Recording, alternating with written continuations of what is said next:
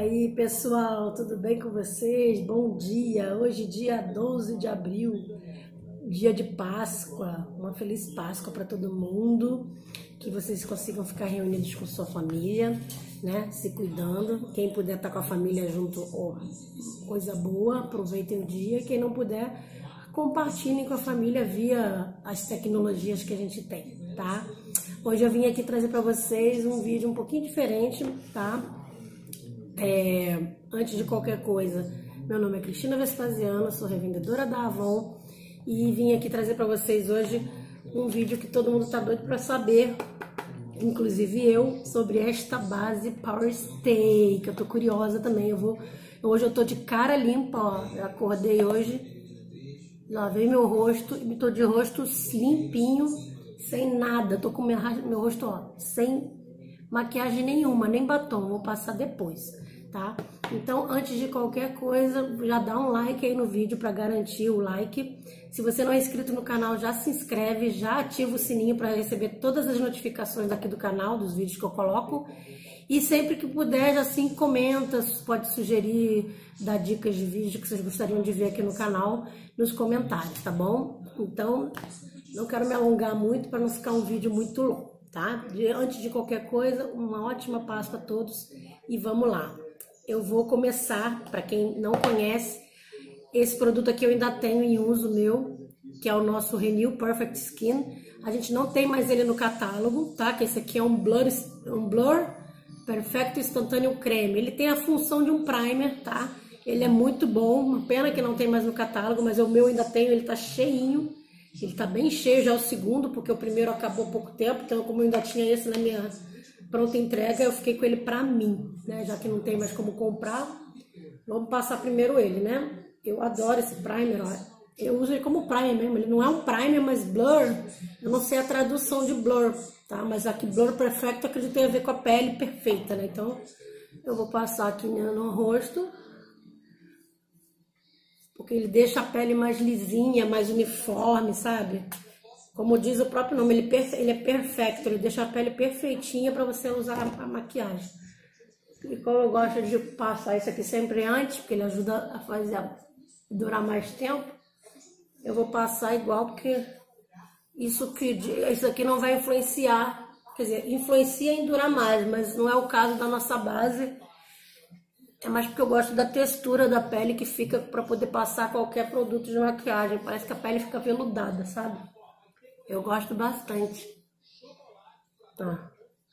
A pele já fica com uma textura completamente diferente. Vocês viram que eu usei bem pouco, né? E ele rende bastante. Então, isso aqui é bom que dura pra caramba, né? Eu vou prender meu cabelo aqui, tá? Porque vai facilitar, senão vai ficar esse cabelão aqui atrapalhando para poder fazer a aplicação da base, tá? Eu prender aqui. Porque senão fica difícil com as cabeleiras aqui, ó. Atrapalha, né? Ah, é, vamos lá. É, eu vou usar para aplicar, que eu comprei nessa campanha, a última campanha, eu comprei para mim, que eu queria usar justamente para base líquida, então já vou experimentar com ele. E vou usar também um lado, um lado, eu vou fazer um lado primeiro, com o pincel, e depois eu posso ter, usar, fazer o outro lado com a esponjinha, tá? Eu tenho aqui, ó. Ai, cadê? Esponjinha. Tem uma esponjinha aqui, ó. Esponjinha dessas gostosinhas. Esse pincel aqui, ó, é da Relax Beauty, tá? Ele é bem macio, bem gostoso e esse tem um, ele tem um fundinho, ele tem uma profunda, um, um centro profundo. Então vamos lá. A cor que eu peguei desse Power Stay base líquida 24 horas de duração, ela vem com 30 ml, tá? Eu peguei a cor bege médio, que é 3.9, né? Com relação das tonalidades. Eu sempre uso bege médio em tudo meu, seja pó, base cremosa, base líquida, corretivo. Se tiver bege médio, eu pego, senão eu pego bege. Então, deixa eu dar uma sacudida antes, que eu esqueci de fazer isso, né? Aqui o modo de usar, né? Aplique quantas camadas desejar com as pontas dos dedos ou com a ajuda de um pincel cobrindo uniformemente a pele do rosto. Quanto mais camadas forem aplicadas, maior será a cobertura. Eu vou aplicar uma camada primeiro. Estão vendo? Eu tô com essa cara aqui, porque eu sempre tenho essa olheirinha aqui, eu sempre costumo ter bastante dela. Principalmente de manhã, né? Que a gente acorda mais sacudir, né? Que é sempre bom dar uma sacudida na base, porque ela fica parada, então às vezes o produto aqui dentro pode dar uma separadinha, né? Então é sempre bom dar uma, uma saculejada nela antes. Então vamos lá. Vou botar aqui, ó. Eu sempre boto aqui Ó, peguei essa quantidade. Ah, era pra ter posto aqui no pincel. Uh, cabeçuda, viu? Distraída. Mas tudo bem, vamos começar. Eu vou pegar aqui assim, a primeira vez que eu vou aplicar com, com pincel. Não tem muita prática com pincel, não. Tem que me habituar mais. Ó. Engraçado, tá parecendo um pouco mais claro que a minha pele, mas eu acho que ele vai se adaptar, tá? Deixa eu só Na mão aqui parece mais escura, mas quando aplica é que a gente vê.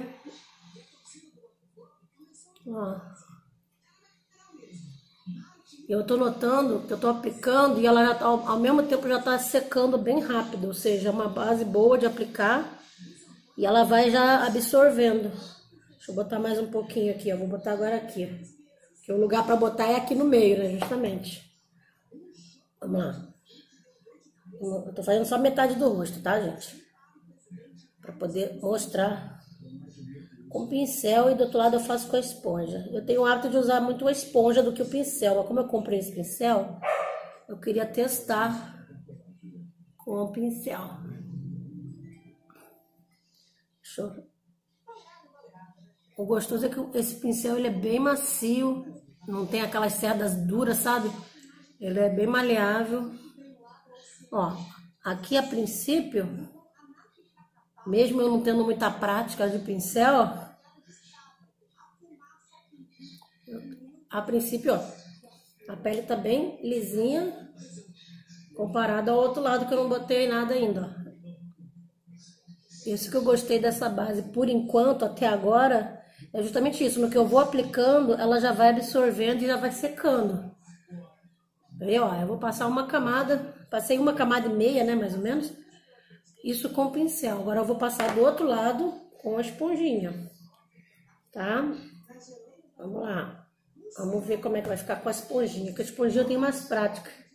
Então eu vou fazendo assim. Antigamente, quando era mais nova, eu aplicava com, com a mão mesmo, com os dedos. Mas aí depois aprendi a usar a esponjinha. Fica mais fácil, né? Vamos lá porque às vezes parece que com a esponjinha eu consigo aplicar melhor, sabe? Mas geralmente com pincel, como todo maquiador fala, é, fica mais bem distribuído o produto. E distribui melhor.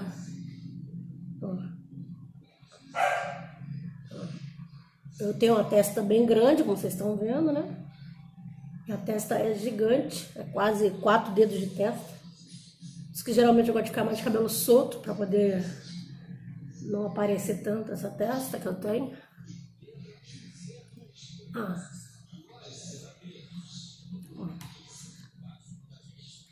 Pegar mais um pouquinho aqui.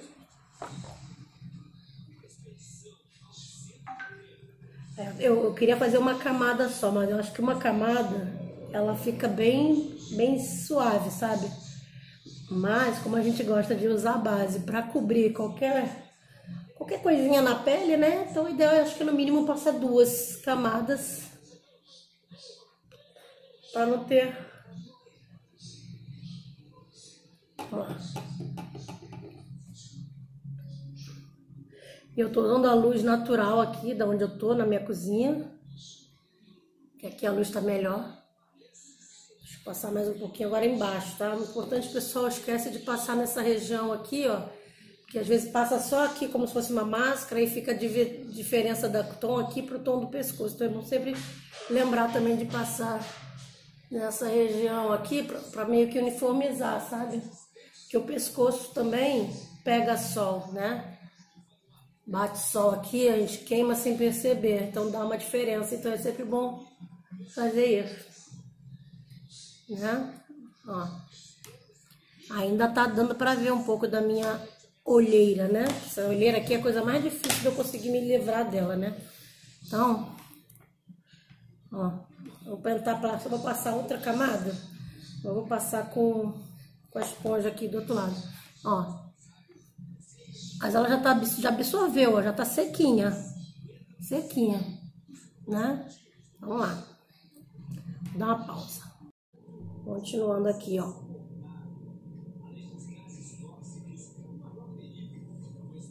Essa região aqui pra mim é a região mais chata de, de conseguir disfarçar. Porque eu tenho muito olheira, sabe? Então, tenho que aplicar quantidades que generosa.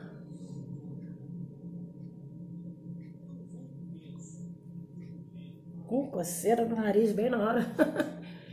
Fala sério.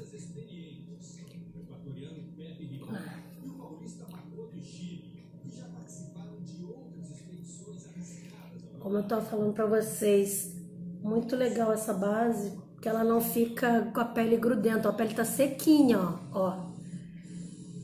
Ela fica com a pele bem sequinha rapidamente, é o que eu gostei nela por enquanto. A parte do teste de durar 24 horas, aí eu vou ter que ver, né? Porque eu tô aplicando agora, agora são 10 e meia da manhã, né? Ou seja, só 10 e meia da noite eu vou ver se eu fico com essa base aqui o dia inteiro, pelo menos. Pelo menos 12 horas. E é claro que eu não vou dormir com ela, né? Então é meio difícil testar 24 horas, porque a gente não fica 24 horas acordado, né?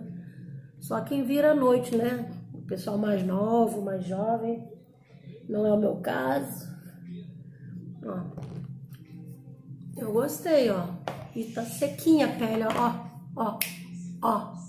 Se tivesse oleoso, não faria esse barulho de, de estalar os dedos. Eu gostei. Deixa eu ver aqui. Na verdade, então, praticamente eu passei como se fosse duas camadas. A cobertura dela me parece boa. Eu não sou muito boa entendedora de cobertura alta, média e leve mas com uma camada ela fica leve e com duas ou mais ela vai ficando de acordo com o gosto de cada um. Mas o mais legal é isso aqui, ó. A pele tá sequinha, ó, tá, tá sequinha. Nem parece que eu passei uma base, tá? Ó. Muito boa, tá? Tá aí, galera. Power Stay, base 24 horas. Essa é minha cor aqui, ó. É a cor bege médio. Eu usei o primer, que eu chamo de primer, que é o nosso Renew Perfect Skin, o Blur Protector, mas se você tiver o primer da Avon também usa, que ele é maravilhoso. Eu tenho, só que o meu já está nos finalmente, até com a embalagem antiga ainda. Só que ele não está aqui agora, deixa eu ver. Ele está no outro lugar que eu, que eu guardo, em outra bolsinha. Então, é isso aí. E vou passar agora um batom. Eu botei três, quatro opções aqui que eu tenho da Avon, três da Avon, ó. Esse aqui é o vermelho ultra mate, que eu gosto bastante. Hoje eu tô, hoje eu tô toda trabalhada no vermelho, ó. Vinho, vermelho e tô de calça, calça vinho. Então eu tô toda trabalhada no vermelho hoje. Então por isso que eu vou passar um batom que combine, ó. Esse aqui é o, é o vermelho ultra mate, é um vermelho fechado, eu gosto bastante. Tá mais para um vinho, até combina com o tom da minha camisa. Tenho esse aqui também, que é o Marsala, que não tem mais no folheto, mas logo que eu vi que lançou é o Marsala Delicado, da linha Ultramática, que quando lançou eu não, resisti, eu peguei pra mim, que eu adoro esse tom assim mais fechadão. Ó, não sei se vocês estão conseguindo visualizar, ó. Ele é lindo esse batom. Eu até evito de usar muito ele porque não tem mais como comprar ele no catálogo. Ele saiu de linha, mas eu achei ele lindo. Vou até passar aqui pra vocês verem, ó. Ele é um vinho bem fechado, que é um tom que eu gosto. Esse aqui é o vermelho ultramate, ó. Já é um vermelho, é um vinho fechado. Aqui no vídeo tá mais um vermelho aberto, mas ele é um vermelho fechado. Tipo um tom meio puxado pro sangue, sabe?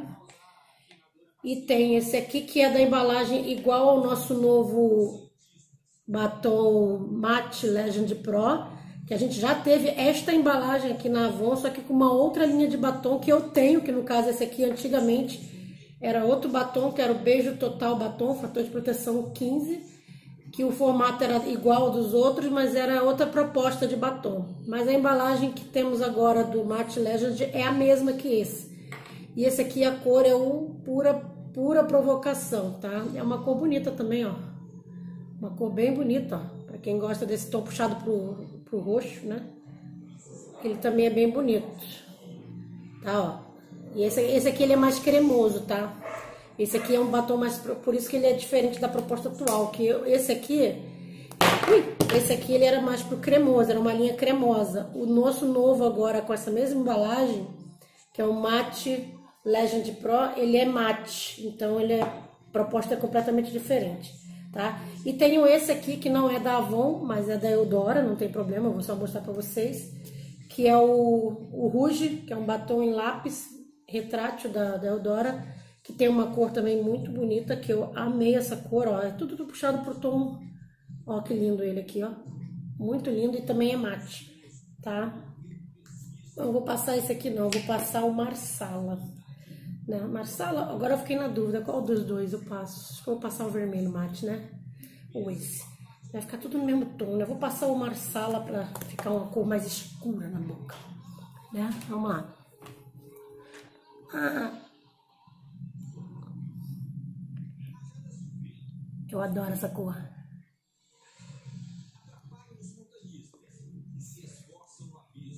Não sei porque a Avon tirou do folheto esse batom. Vou pegar o espelhinho, porque de longe fica meio difícil de ver a proporção. Ah. Eu gosto muito desse tom, porque ele na boca ele fica parecendo um, puxado pro marrom. Como eu tenho a pele clara.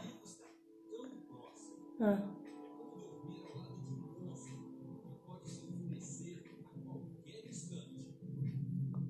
Detalhe, ele é da linha, ele é da linha Ultramate, mas a, a, a, ele desliza tão fácil. Ele dá a sensação de um batom cremoso, mas ele é mate. Ah. E esse, como é da linha Ultramate, dá pra arrumar, né? Ele não é que nem o, o Power Stay, que a gente tem que... A gente tem que, ó, ficou bom, ó. Perfeito, ó. Soltar o cabelo. Ai, Jesus, os cachorros estão que estão. Agora para soltar. Ó. Isso aí, pessoal. Escova da bom? Espero que vocês tenham gostado. Olha, eu gostei. Ficou bonito. Tá? Deixa eu só afastar um pouquinho aqui. Tá bem próximo aqui a câmera. Isso aí, tá? Quem gostou, comenta deixa um like, compartilha com os amigos, se inscreve no canal e deixe seu comentário colocando aí hashtag Páscoa com a Cristina, ok? Beijinho, tchau, tchau!